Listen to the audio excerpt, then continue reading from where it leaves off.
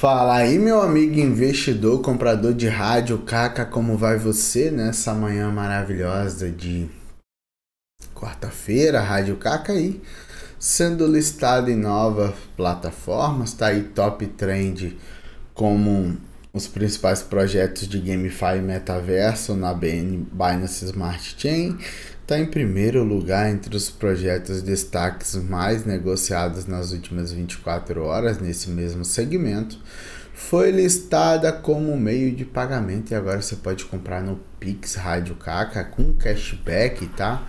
Para quem usa a cripto no Pix, app.com.br, um app brasileiro. Tá interessante, tem umas coisinhas acontecendo. Foi listada como meio de pagamento lá no Pip Payment tá aí tentando evoluir, pessoal. Pelo menos está fazendo alguma coisa esses dias, está sendo listagens, outras coisas.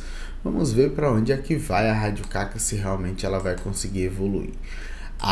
Aqui tá difícil, tá valendo 0,0009047, 30 milhões de market cap, market cap 525 no ranking, volume 2.2 milhões de dólares, eu acho o volume muito baixo caiu 99% desde o seu topo histórico. Para chegar lá, precisa de, de uma alta de 13 mil por cento. Cara, 13 mil por cento é uma grana, hein? Se voltasse a pelo menos meio centavo de dólar, eu já estaria muito feliz. Esse ano está caindo 68,66%. Não é só a Rádio Caca, tá, pessoal? Todos os projetos relacionados a metaverso têm caído muito, tá? E têm sofrido muito no mercado a gente vai bater esse papo sobre isso.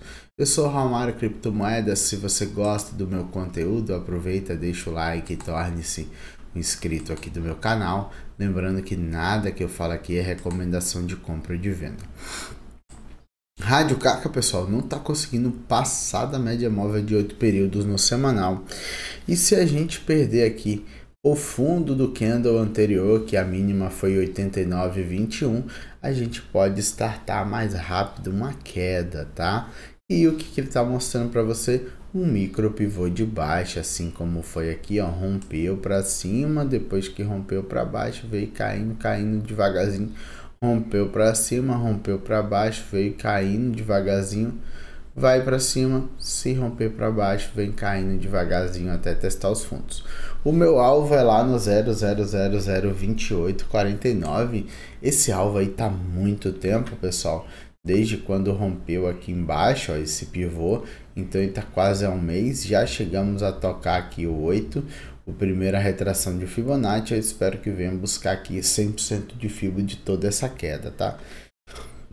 Infelizmente é o que a Rádio Caca está produzindo. Quando você olha para os indicadores, você vê aí uma divergência entre essa queda de preços indicadores, MACD subindo, estocástico RSI subindo, estocástico na sobrevenda, tá? E o RSI saiu da sobrevenda, o Vortex em queda e o volume em queda. O que me chama a atenção é esse volume em queda, tá? Que é muito ruim quando a criptomoeda tá com volume muito baixo, assim, ó, que vem caindo, caindo, caindo, que não vai para lugar nenhum. Olha o volume como é que vem caindo, pessoal. Isso me chama a atenção. Isso é muito perigoso para a criptomoeda. No gráfico diário, nós temos basicamente a mesma coisa, uma nuvem de Shimoku guiando aí as médias de 200, de 150, preço trabalhando abaixo de todas as médias, estocástico, RSI, MACD, Vortex, todos virando para baixo novamente, e a gente tem aqui uma linha de tendência de alta, que se eu não me engano está sendo perdida no dia de hoje, tá? E aí o que que acontece? Linha de tendência perdida fica mais perigoso, ó. Estamos no limite dessa linha, junto com a média móvel de 20 períodos. Vou até botar outra cor para ficar bem mais visível para vocês. Se perder essa linha aqui, pessoal, vai ficar muito difícil para o investidor, porque ela starta, ela perde o padrão que ela vinha apresentando, né, que é de alta.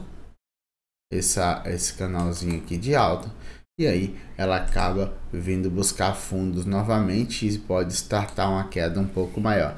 Então de olho na Rádio Caca para os próximos dias, se perder esse fundo aí do 90, 91, começar a trabalhar perto dos 89, 88, ela vai startar uma queda um pouco mais forte. Então, de olho aí que pode ser que a Rádio Caca volte a cair, tá? Essa é minha análise da Rádio Caca. Se você gostou, aproveita, deixa o like e torne-se inscrito aqui do meu canal. Lembrando que nada que eu falo aqui é recomendação de compra ou de venda. Aquele abraço para vocês, até a próxima e fui.